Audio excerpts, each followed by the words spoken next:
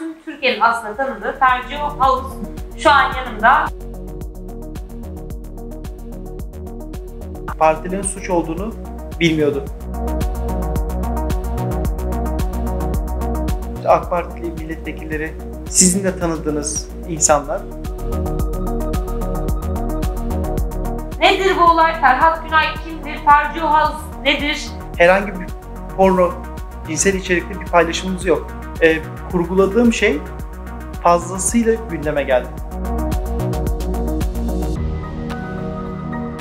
Yani VIP biletlerin fiyatı 300 bin lira.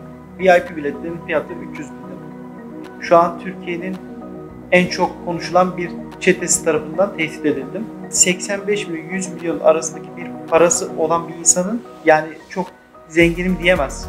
Sadece orta hallidir. Bir kamu görevlisinin zenginliği ne olabilir ki? Yani iş adamlarıyla birlikte geldikleri için